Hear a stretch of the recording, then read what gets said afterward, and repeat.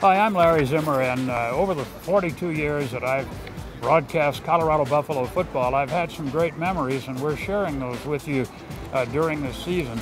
And uh, one of the memories uh, that we're going to talk about today is a person, the quarterback, Sal Aunese. Sal Aunese from Oceanside, California, wasn't a big guy, 5'11", 195. I guess that's big enough, but some of the quarterbacks you see today uh, aren't uh, that big. But he really was able to run the uh, option that uh, Bill McCartney had back in the uh, late 80s. And Sal truly was a great motivation for Colorado's great teams, the unbeaten team in 89 and the national championship team in 90.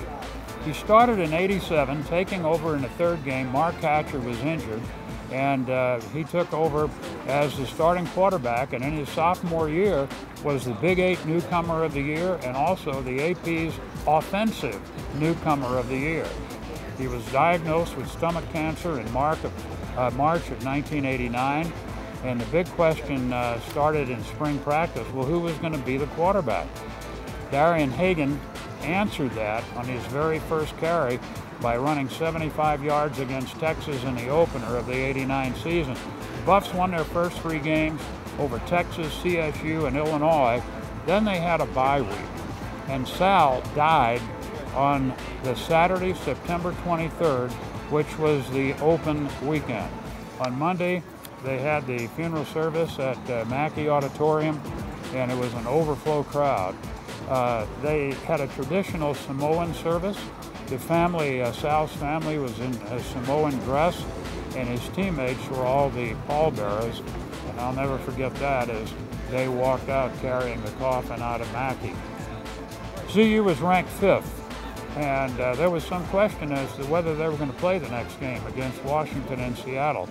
But they did go, but uh, then the question was how they would react. Sal used to watch the games from the photo deck at Folsom, and after the anthem and after the flip of the coin, the players were all point to him in the photo deck. And everybody was wondering, well, what, what is going to be the reaction? Well, what happened was uh, they pointed to the sky. They still took the knee and pointed straight up instead of pointing to the press box. And uh, this announcer was on the air at the time, and I uh, tried to mask it, but I think uh, I somewhat lost it. Anyway, Colorado went on to dominate that football game against a very good Washington team, which came in uh, ranked 21st.